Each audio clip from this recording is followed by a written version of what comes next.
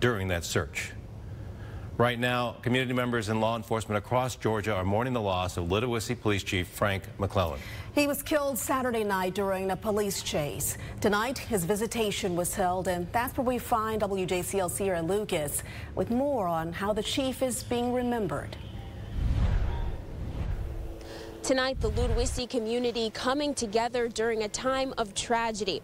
Hundreds gathering here at the Geraldine McClellan Elementary School to pay their respects to their police chief who died in the line of duty.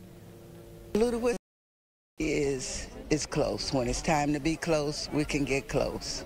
So this is one of those times. A line wrapping around Geraldine McClellan Elementary School to honor fallen police chief Frank McClelland Jr. He died protecting others and serving his community, where he was a part of the police department for more than a decade. Some concerts is not this big.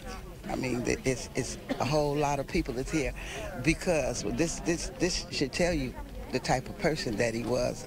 Ludowici residents, family, and lifelong friends gathering to say their last goodbyes to McClelland, who was not only known as a community leader, but a friend you could count on.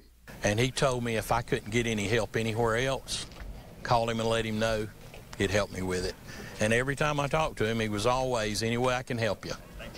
That was his, that's the way he was.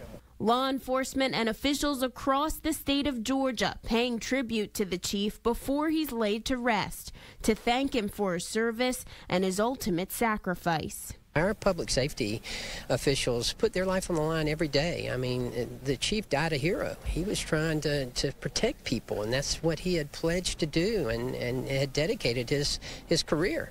I can't believe what has happened, you know.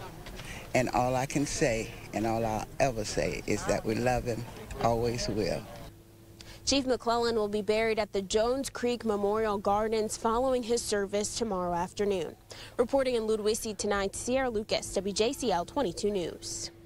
And a special account has been set up to help Chief McClelland's family with funeral expenses. You can contribute at the Ludowici Bank. Just mentioned the Frank McClelland Jr. Blue Line Memorial Fund.